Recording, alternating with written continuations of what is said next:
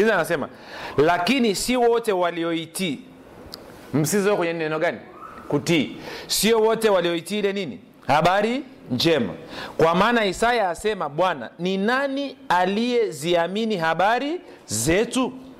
Basi imani chanzo chake nini? Kusikia. Na kusikia huja kwa neno la nani? La kristo. Kwa hiyo kufuatana na maelezo ya paulo hapa anasema tuna taarifa mbili. Tuna habari njema sindio alafu tuna habari nyingine ambayo ni mbaya. Sawa?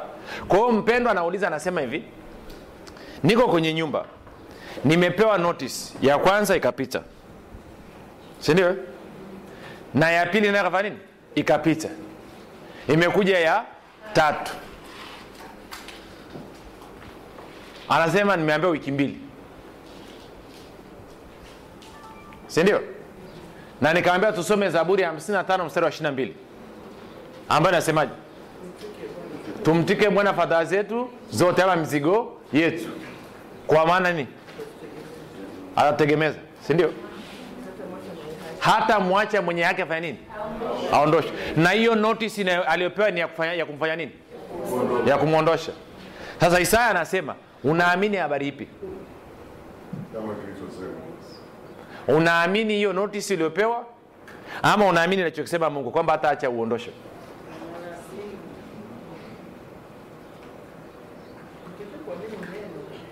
Okay.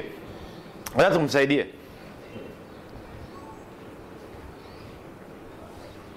Walau huo na wiki mbili. Mimi nilipewa notice siku ya jumaatatu nikaambiwa alhamisi asubuhi niondoke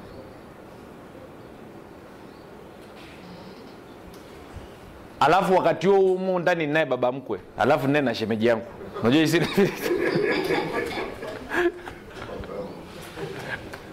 eh? hey. na, na sio tu kwamba wamesema niondoke. Yaani maanake ishu haikuwa hela tena. Kwamba wamefika mahali wameamua kwamba sasa na hiyo milioni sita maanake milioni sita natakiwa wamempandishia kodi kwa, kwa milioni mbili na laki nne nzima. Kwa hiyo anasema hata hiyo milioni sita yako hatuitaki. Na milioni sita yako umepata hujapata kwa hiyo wala sikuwa na option wala wewe una option kwamba ukipata utapeleka ita- kitaeleweka. Mimi walikuwa hata hiyo hawataki. Hata kama ningekuwa nayo. Na sikuwa nayo. Sawa? Sawa jamani? Kwa hiyo tulichofanya nini? Nilichukua huo mstari. Kwamba mungu hata ruhusu ilikuwa siku ya jumatatu tukaanza kuomba. Siku ya jumanne mwenye nyumba akasema mimi sina shida nataka mwendelee kukaa. Kwa hiyo alhamisi naomba mletee langu of course kuwa tumechangana na wafilipi 419 kwa mungu ndiye anaingiza kile kitu tunachokihitaji sasa na wingi wa utajiri utukufu wake. Then alhamisi jioni. Kamtuma mke wangu kaambie kaambie kaambie mwenye nyumba tumeshapata hela yake. Nataka tulipane kesho. Wakati huo sina hata shilingi lakini tayari nishakaa kwenye maombi mkuu ameniambia poa. Ameniambia nini? Kesho yake hela zikaanza kuingia. Sasa nachojaribu kuzungumza ni kwamba wewe unaamini nini? Kitu cha kwanza kwanza anaposikiza story, story ya kwake mungu huyo huyo aliyefanya notice ya kwanza ikapita. Na akafanya notice ya pili ikapita. Nini kinafanya uone kwamba hata sababisha ya tatu ipite? Eh? Tunaona sawa? Ndo changamoto tulionayo. Kumbuka kinachomsumbua kinachomsumbua ni kwamba simu anapigiwa barua anaiona kila kitu kimekaba. Huyu mungu aonekani amekaa kimya. Na ndio maana anasema lakini sio wote walioitii ile habari njema. Habari njema nini? Kwamba anasema mungu akiwa upande wako huyu anayesimama kuwa kinyume na wewe nani? Fedha na dhahabu ni mali ya nani? Ya bwana. Na wote wajazwe walio kwenye nchi wameumbwa na nani? Na mungu. Hata hao wanaokuletea notisi ni viumbe wa mungu. Sasa unaamini nini? Je unaamini kwamba mungu anao uwezo ushawishi juu yao?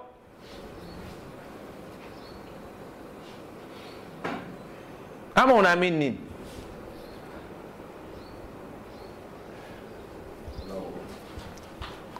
sasa anasema inaanza kueleweka?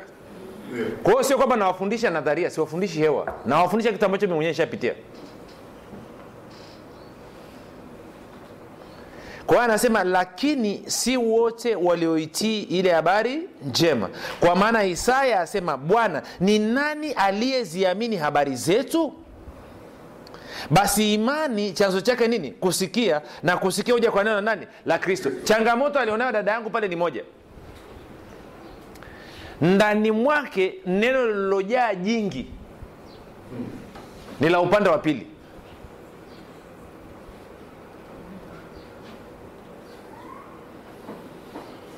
Ameamua kuangalia, na chini kabisa. Isi, kwa sababu kile ambacho kimejeza moyo wangu ndo kitakuwa cha kwanza kutoka mdomoni. Sindosa alivyosema eh? eh? mtu utamka ujazayo nini? Moyo wake. Sasa kwenye moyo wako kumejaa nini? Maana kama kumejaa maneno ya imani ahadi za mungu zimeingia umezishindilia zimejaa. Kwa hiyo changamoto ikija huoni ni kwa vipi? Moja nikwambie.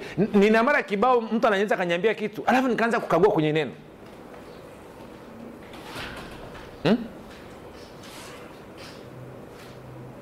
sikuwa nanyelewa okay nasikia kwa mfano mtu asema uh, unajua una, una spiritual husband spiritual wife. Sindio nikiwa nawasikiliza naanza kufikiria anza kama huyu mtu amezaliwa mara ya pili. Maana yake yuko ndani ya kristo. Na kristo yuko ndani ya baba. Huyu spiritual sijui spiritual nini huyu pepo huyu. Anapitaje? Anakuja kumwomba ruksa yesu. Kwangu hai- haingii. Anza kunyelewa kwao kama mungu amesema hata ruhusu niamishwe nachagua kuamini kwamba sitahamishwa. Na lazima nitangaze msimamo wangu kwamba baba pamoja na kwamba mazingira yangu yote yanaashiria kwamba nitaondoka lakini nachagua kuamini neno lako. Kwa maana umesema hutaruhusu mwenye haki wako aondoshwe na mimi najua neno lako ni kweli na wewe ni mwaminifu. Kwa hiyo nachagua kuamini. Singoja niwambia wapendwa si, lazima ujifunze neno la mungu liwe halisi. Nasikiliza hakusema kwamba hutakuja kujaribiwa. Hakusema kwamba ukiwa kwenye imani inanyooka. Alichosema tu ni kwamba imani inakupa wewe uhakika wa kutoka mshindi. Wengine mkikaa mkiniangalia mtu kama mimi nakaa nawafundisha hapa nadhani sina changamoto. Siku naweza nikaja hapa ngoja ishu zangu hapa alafu niende mtakavolia lazima mwombe rehema wote. Lakini utaona nimekaa hapa nafundisha wala huone kaa na, na changamoto yoyote na naongea. Siko nanyelewa. Kwa sababu gani? Nimeshajifundisha kujitrain kwamba mungu ripoti ya mungu ndio naiamini kwa hiyo warumi 16 anasema hivi. Lakini si wote walioitii ile habari njema habari njema ni nini? Habari njema maanake ni kwamba uliokolewa ukahamishwa kutoka katika nguvu za nini? Za giza. Na sasa umeingizwa katika nini? Katika ufalme wa mwana wa pendo lake. Sasa mazingira yanaweza akajaribu kukuhubiria kwamba sio hivyo. Lakini lazima wewe utie msimamo useme ndivyo ilivyo. Tuko sawa? Anasema kwa maana isaya asema bwana ni nani aliyeziamini habari zetu? Basi imani chanzo chake nifanya nini? Ni kusikia. Na kusikia huja kwa neno nani? La kristo sawa sasa tunajuaje kwamba umeamini? Tunajuaje kama umeamini? Wakorinto wa pili. Mlango wa nne. Njia nyepesi kabisa.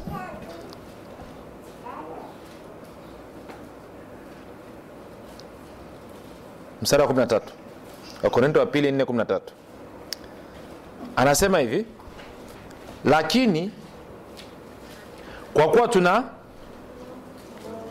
roho ile ile ya nini? Ya imani. Ehe. kama ilivyoandikwa? Mhm. Ehe. anasema hivi kama unaamini utafanya nini? Utasema. Kama hauamini hautafanya nini? Hautasema. Kwa hiyo utajuaje imani imekuingia? Utakapoanza kusema kile ambacho mungu amesema kuhusu nini? Situation yako.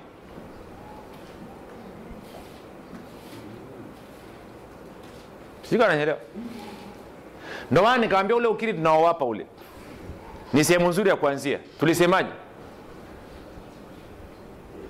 Tulisema una, una, unasema ama unakiri kwa sababu gani? Sema kwa sababu unataka kufanya nini? Kuamini. Si ndio? Alafu utasema mpaka ufanya nini? Uamini alafu sasa utasema kwa kuwa unafanya nini? Unaamini. Ndo watu tunapeana zile karatasi za kukiri. Nyie mnafahamu mioyo yenu ilivyojaa makorokoro. Tangu utoto unasikia vitu vya ajabu unasikia kushindwa unasikia hivi. Yaani mbinu zote unazosikia ni amnaga mungu. Kwa hiyo hauwezi ukategemea siku moja tu umesikia neno yere ukaanza imani kwa juu. No. Ndo watu tunapeana karatasi za ukiri kwa anasema kama umeamini utaanza nini? Utaanza kusema. Okay naye anajua siku ya kwanza ukichukua karatasi ukaanza kukiri unajiona kama mjinga. Kama tusifichani eh? Eh? mimi ni tajiri vimejaa tele vya kumwagika. Mwenyewe umekaa chini sahiwe unajiona kama mjinga mbona amna kitu kilichokuleta kimoja hapa? Lakini wewe endelea kufanya nini? Kusema. Tuko sawa kwa hiyo anasema kwa kuwa tuna roho ile ile ya imani. Hasa naliamini na kwa sababu hiyo nafanya nini? Nalinena. Sisi nasi tunafanya nini? Twaamini na kwa sababu hiyo tufanya nini? Twanena. Kwa hiyo anasema kama unaamini ripoti ya mungu utafanya nini? Utasema kile ambacho mungu amesema. Hautasema kile ambacho mazingira anasema hmm?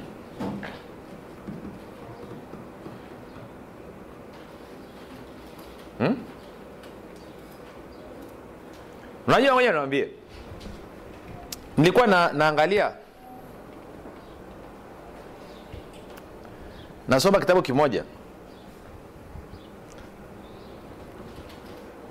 Kwa sababu na kitu kwa ameanza kunyonyesha mstari moja amenipa kwenye ufunuo. Nikaa nasema huu huu nataka nikae sasa nianze kufuatilia. Kuhusu ushuhuda. Sawa?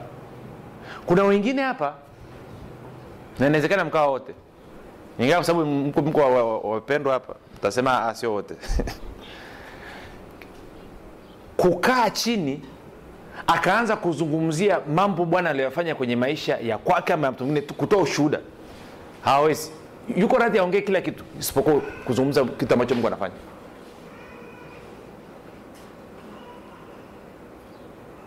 Na kwa sababu hiyo miujiza yaendelee kutokea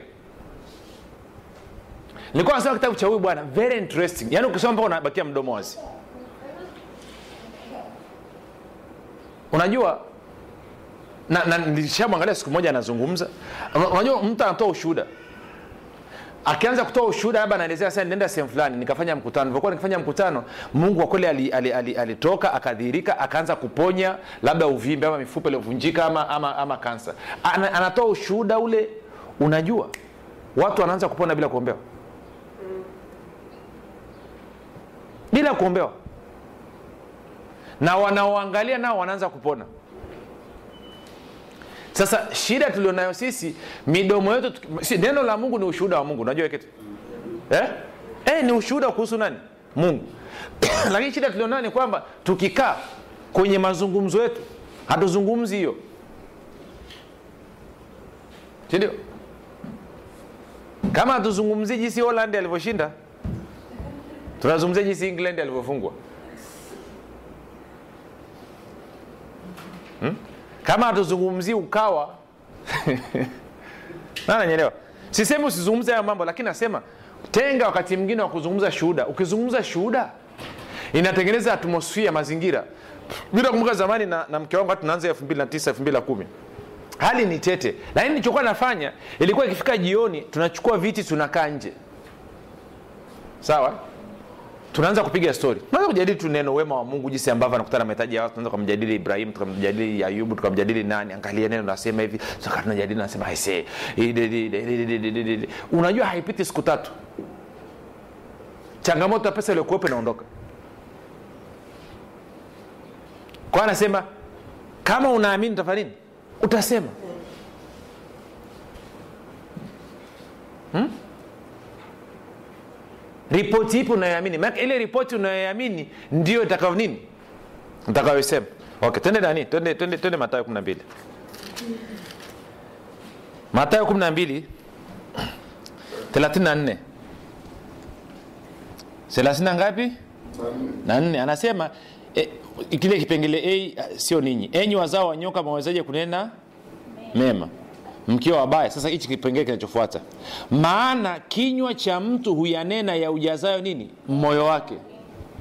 Kinywa cha mtu huyanena ya ujazayo nini? Moyo wake. Si kama kushindwa ndo kumejaa ndani mwako. Kama kama magonjwa nyelewa kile kilichojaa kinatoka mdomoni. Ripoti ipi imejaa ndani mwako? Ripoti ya mungu ama ripoti ya shetani? Ripoti ya mungu ama ripoti ya mazingira? Kipi kimejaa ndani mwako kumbuka huyu ni yesu anasema na yesu ndo muumbaji mwenyewe.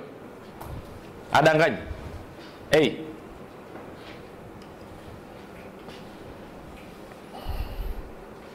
sasa hivi tumepumzika kidogo. Tunazungumza kombe la dunia wanaume. Hapa ni world cup tu utaambii kitu alafu ikifika august tunarudi kwenye ukawa. Ukawa amerudi. Ukawa ukawa. Si kwa hiyo inamaana wewe angalia tu ambayo ametokea kwenye jamii. Ikianza? Tuko sawa? Kwa hiyo yesu anasema mtu utamka nini? Eh? maana kinywa cha mtu huyanena ya ujazayo moyo wake. Nataka nikuulize moyo wako umejaa nini?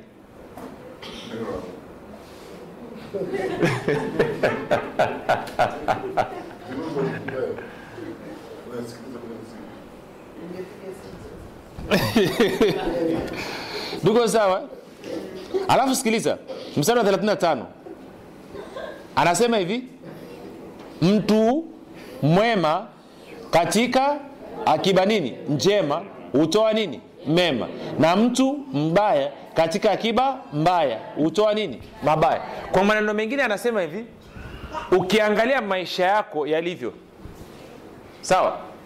Yanaashiria moyoni mwako palivyo eh?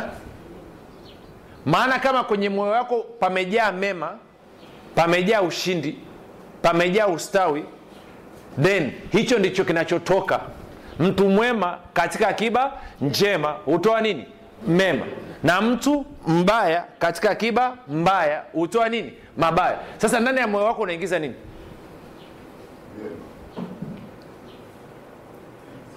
Ndio maana mithali eh? imesemaje?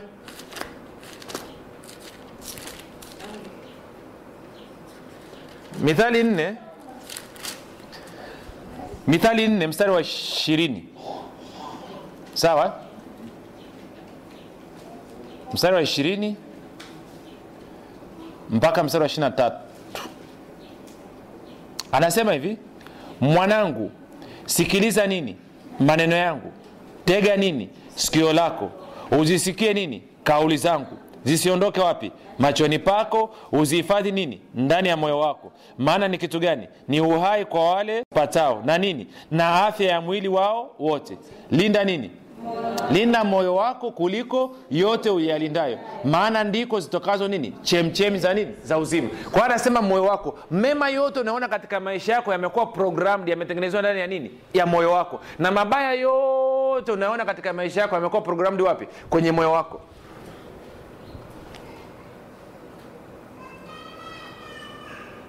Sasa nisikilize kitu moja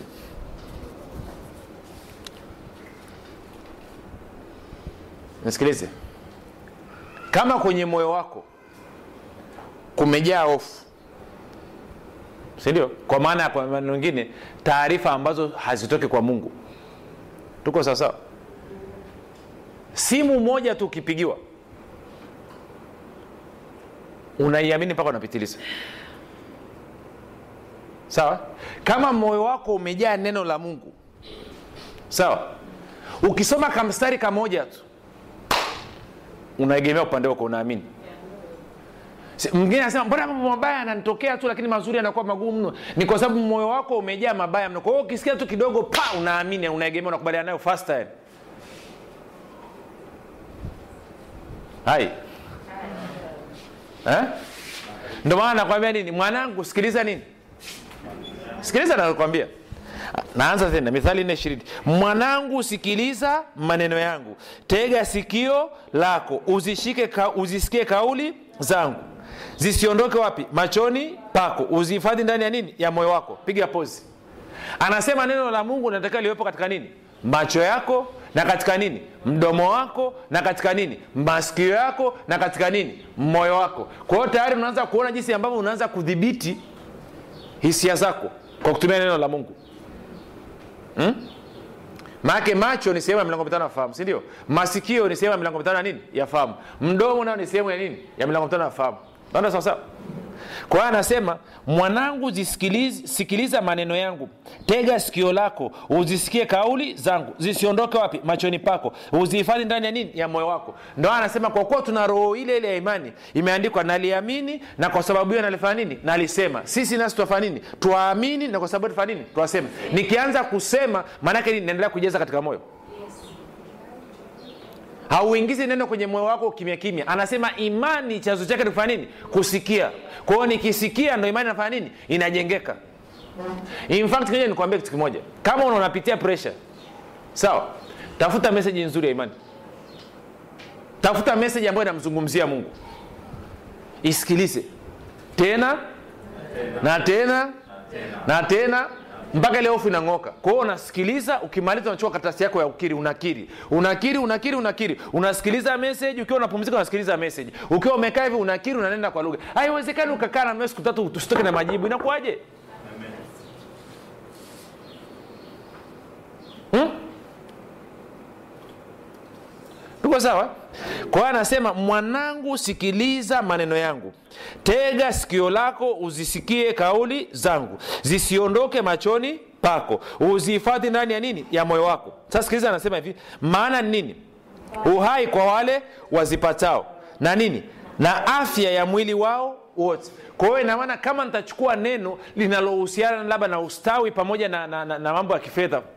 Si ndio nikaanza kuliangalia nikaanza kulisoma nikaanza kulikiri nikaanza kulisikia nikaanza kuingiza katika moyo wangu. Inachosababisha nini? Inasababisha uhai badala ya hii kuwa afya inasababisha nini? Utajiri. Inasababisha nini? Ustawi. Tuko sawa? Hamna shortcut. Hmm? okay. Inakuwaje tuki kwa mfano kuna mtu mwingine akiwaza safari. Kitu kwanza kinachopita kichwani nini Ah? hakuna. Ajali. Ndo kitu cha kwanza. Kwa hata akiamka asubuhi hata maombi naangalia mazungumzo ya wanadamu. Mungu awatangulie. Kwa nini anasema mungu awatangulie? Wanawaza nini? Ajali. Isaya moja ni kumi na ngapi? Kumi na tisa? Mm. Isaya moja kumi na tisa.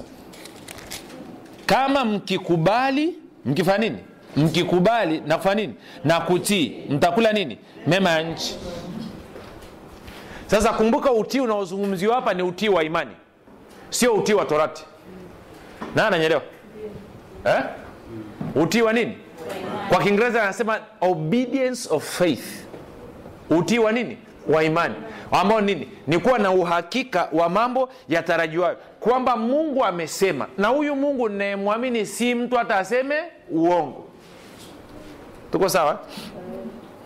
Kwa anasema ukitii na kukubali. Unafanya nini? Hivyo umetii na kukubali?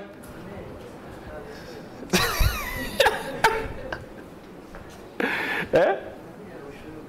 Isi, lazima saa ingine unapoingia kwenye kuamini presha inakuwa kali my friend mpaka machozi yanatoka unaambia mungu najua. Pamoja na kwamba mazingira yangu yanazungumza tofauti pamoja na kwamba naonekana kama ninashindwa lakini nachagua kuamini kile ulichokisema. Kwa kuwa wewe uko upande wangu umesema hautaniacha wala hautanipungukia. Kwamba wewe ni msaada wangu wakati wa matatizo. Najua mungu wangu siku zote unanyandamanisha kwa ushindi kupitia kristo yesu. Najua hata na hili natoka mimi kidedea. Pamoja na kwamba shetani ananihubiria ninachagua kukuamini wewe. Siamini kitu kingine chochote. Na machozi natoka my friend unasema kwa sababu imani haihusiani na hisia. Hayo machozi ni hisia tu my friend. Imani ni nini? Inahusiana na nini? Na moyo wako na kile ambacho mungu amefanya nini? Amesema. Kwa hiyo inawezekana nikawa najisikia vibaya najisikia ovyo lakini niko kwenye imani. Kwa hiyo msingi wa imani yako ni nani?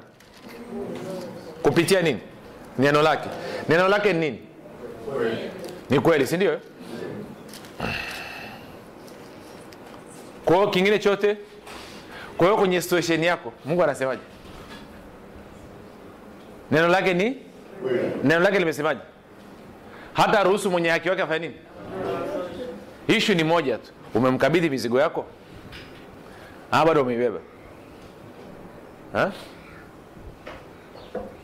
Usije kuwa kama wale akina mama wanaonaga wanapanda nani wanapanda basi alafu anakuku amefunga mgongoni. Nami kuona unajua kuona alright twende.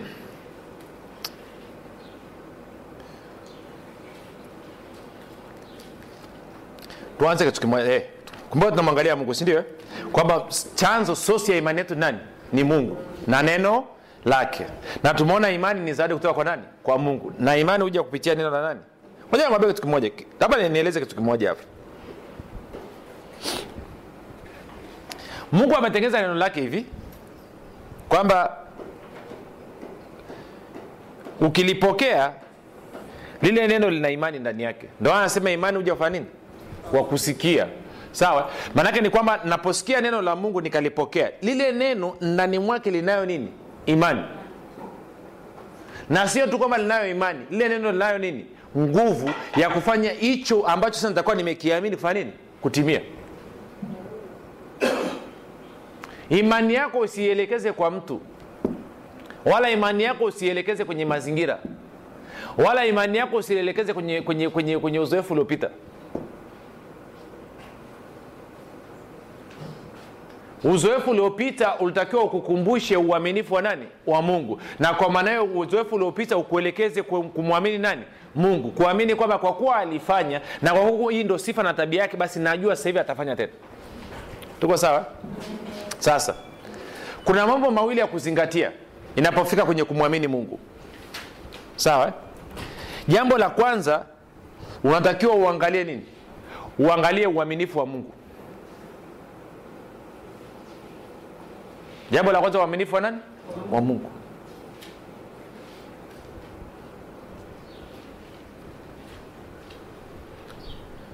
Twende waibrania kumi na moja. Kitabu cha imani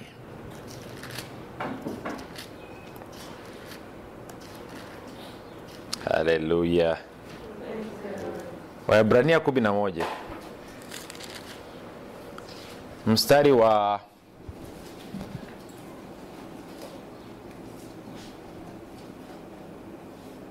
mstari wa 11 na 11 mstari wa 11 nikaanza ule mstari wa kwanza kwanza nasema basi imani ni kuwa na uhakika wa mambo yatarajiwayo ni uthibitisho wa mambo yasiyoonekana. Mstari wa 11 kwa imani hata sara mwenyewe alipokea nini? Uwezo wa kuwa na nini? Na mimba. Alipokuwa amepita nini? Wakati wake kwa kuwa alimhesabu yeye aliyeahidi kuwa nini? Mwaminifu. Kwa hiyo kilichomsaidia sara akaweza kupokea ujauzito akiwa na miaka 89 nini? Ni kwa sababu alimchukulia kwamba yeye aliahidi ambaye ni nani? Mungu. Kuwa nini? Ni mwaminifu. Na hapa ndo changamoto inapoanza. Usiposeto usiporidhia ndani yako kwamba mungu ni mwaminifu. Hutakaa umwamini. Mungu sio upepo hiyo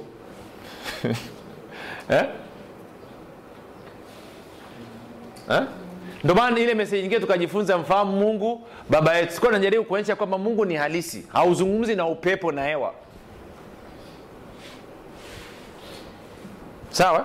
Kwana sasa kilichomfanya sara unajua labda wengine mmesahau stori ya sara. Alipoanzia. Hmm? sara alivyoambiwa na mungu okay kuonyesha ngoja tena mstari anasema kwa imani hata sara mwenyewe alipokea uwezo wa kuwa na nini? Na mimba. Alipokuwa amepita wakati wake. Kwa kuwa alimhesabu yeye aliyeahidi kuwa mwaminifu. Sawa?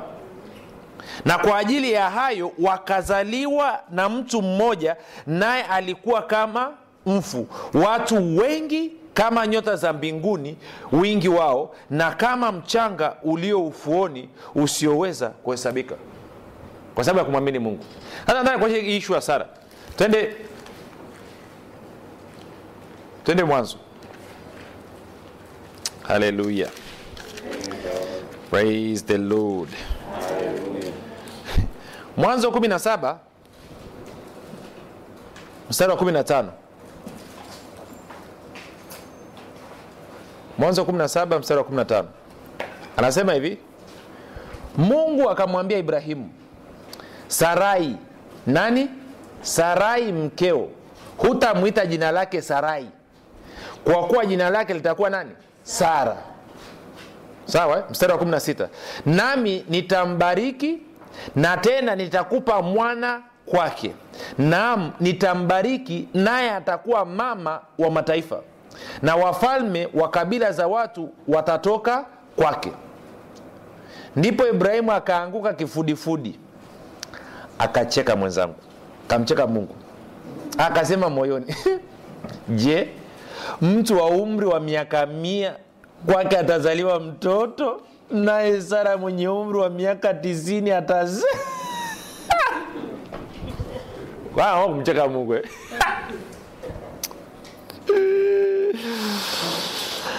ibrahimu akamwambia mungu lau kwamba ishmaili angeishi mbele yako. Mungu akasema sivyo lakini sara mkeo atakuzalia mwana wa kiume nawe utamwita jina lake nani? Isaka. Nami nitafanya agano langu imara kwake kuwa agano la milele kwa ajili ya uzao wake baada yake.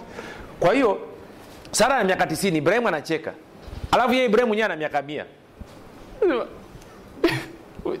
mungu bwana huyu. Eh? sindio eh? kama ngoja ngoja nimtania dada yangu pale. Kama vile dada yangu ambaye anasema anasema mungu hujawahi kupewa notice ndio maana. Hujawai kwa sababu ibrahim anaona kwamba mungu hujawahi kuishi huku chini. Je ukaa kwenye mwili? Mimi ni mzee ati. Na huyu mama. Hapo nazungumzia utoto. Eh? Ni vile tu nani alikuwa namjuajua mungu anaogopa na hii nadhani ingekadiwa kusema hebu ondoa upuuzi wako bwana acha mambo akipuuzi. kuna mambo ya sio haya eti. Lakini mungu anasema hutamwita tena sarai. Utamwita nani? Sara. Kwa sababu gani? Eh? mama wa nini? Wa mataifa. Kwa hiyo ukisema sara maana yake nini? Mama wa nini? Wa mataifa. Kwa hiyo sara kama alibadilishwa jina kwa kuwa tuna roho ile ile ya imani imeandikwa naliamini na kwa sababu ile alifanya nini? Nalinena. Sisi nasi twafanya nini? Twaamini na kwa sababu twafanya nini? Twanena. Kwa hiyo alivyokuwa kukutana na kwamba "Eh, habari yako dada unaitwa nani? Anasema anaitwa nani? Akisema sara maanake nini? Eh, kwanza anaitwa mama wa mataifa mengi. Kwa hiyo anaonyesha nini? Kwamba anaanza kuamini. Na anadhirishaje kwamba anaamini kwa kusema. Unaitwa nani? Mama mataifa mengi. Lakini na wakati huo watu wanaendelea kumwita mama mataifa mengi za leo. Ah, nzuri nzuri nzuri. Imani huja kufanya nini? Kwa kusikia. Na kusikia neno la nani? La mungu ama la kristo. Tunakwenda sawasawa kwa hiyo mungu ilibidi awabadilishie mchakato. Tuko sawa? Sasa ibrahimu ndo aliyecheka sio sara. Naonyesha jinsi wanaume walivyo wanaume amfurahi a mnasikitika mlango wa kumi na nane. Mstari wa tisa. Wakamwambia yuwapi sara mkeo? Akasema yumo hemani. Akamwambia hakika nitakurudia wakati huu huu mwakani. Na tazama sara mkeo. Atapata nini? Mwana wa kiume. Sara akasikia. Mlangoni pa nini? Pahema iliyokuwapo nyuma yake.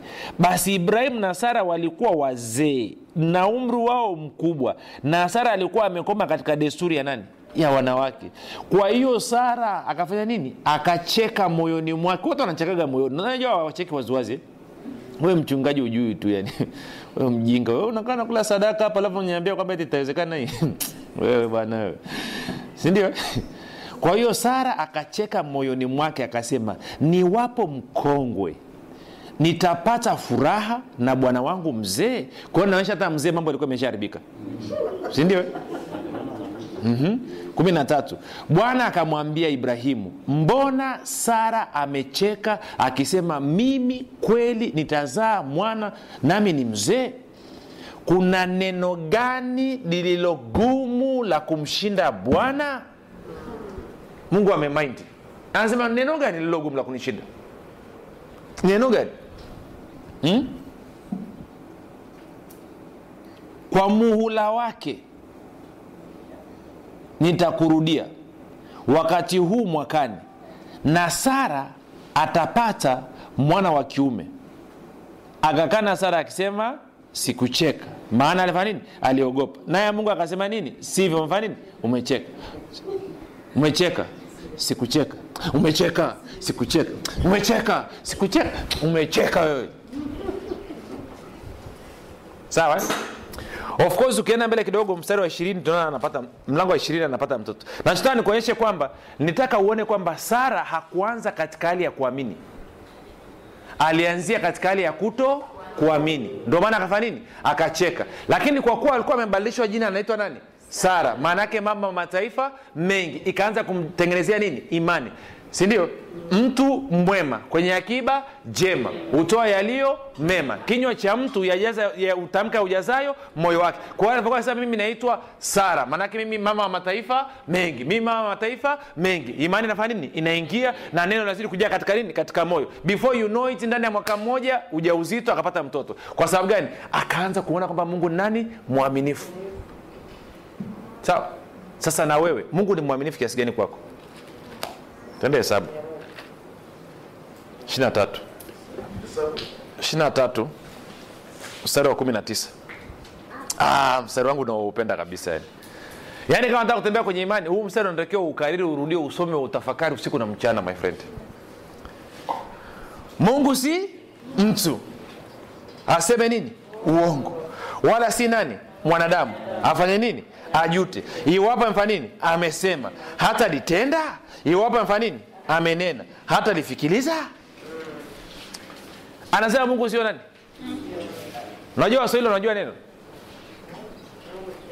E, wanakwambia mungu sio athumani rafiki yangu. Huwa wanakoti scripture. Mungu sio athumani. Amenionekania. Anasema mungu si mtu. Hata aseme nini? Uongo. Sasa kumbuka tunaangalia uaminifu wa nani wa mungu. Sara aliweza kubeba ujauzito akiwa na miaka tisini kwa sababu ya uaminifu wa nani? Wa mungu. Alimwona kwamba mungu aliyeahidi ni nini? Mwaminifu. Sasa hapa anasema hivi mungu si mtu aseme uongo wala si mwanadamu ajute. Okay kitu cha kwanza anakwambia mungu hawezi kusema uongo. Kwa sababu yeye sio nini? Binadamu. Kwa hiyo kwa maneno mengine anajaribu kukumbusha kwamba unapokuja kwenye swala la mungu haudili hau, hau na mwanadamu. Unadili na nani na mungu asiweze kusema nini? Uongo. Lazima hilo liingie ndani mwako litulie. Lakini la pili anasema si mwanadamu atafanya nini? Ajute. Kwa maneno mengine kwani anasema ajute? Una habari mwanadamu anaweza kuenda afa akashindwa? Ama ujawai kuona hiyo? Eh? eh? anakuahidi anakwambia nitakuja tutakwenda wote alafu aonekani hmm? ama ujui ama anakuahidi nitakupatia pesa kiasi fulani alafu anashindwa ndo yeye anazungumzia. Anasema hawezi kukuahidi alafu akashindwa kutekeleza. Na kwa maana hiyo kabidi aishie kufanya nini? Kujuta. Hivi kwa nini nilimwambia? Kwa hiyo anasema mungu si mtu. Hata aseme nini? Uongo. Wala si nani? Mwanadamu. Hata afanya nini? Ajute. Anasema iwapo amesema hata litenda iwapo amefanya nini? Sasa changamoto tulionayo ni hii. Watu wengi hawajui mungu amesemaje kuhusu situation yao sindio maanake anasema iwapo amesema hata litenda kwa manengine anasema hivi kama mungu amesema lazima afanye nini? Atende. Sasa kwenye situation yako wewe unayopitia mungu amesemaje kuhusu hiyo? Mungu amekwambiaje na hauwezi kujua kama hujafungua hichi kitabu.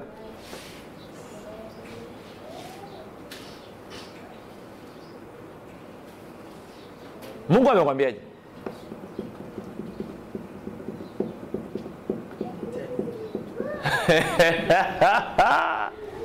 eh? kwenye situation yako unayopitia ndio maana nazungumzia kwamba saa nyingine ukiwa una, una situation fulani unapitia hebu ingie tunavyoingia kufunga na kuomba maanake nini? Nataka na, na, kujisikilizisha kwa nani? Kwa bwana. Nakaa na tafakari nafunga naomba naenda kwa lugha nasikiliza. Baadaye atanipa mstari mmoja. Nitajua huu hapa ndo mungu ananiahidi kuhusu situation. Sindio nikisimamia. Tuko sawa eh?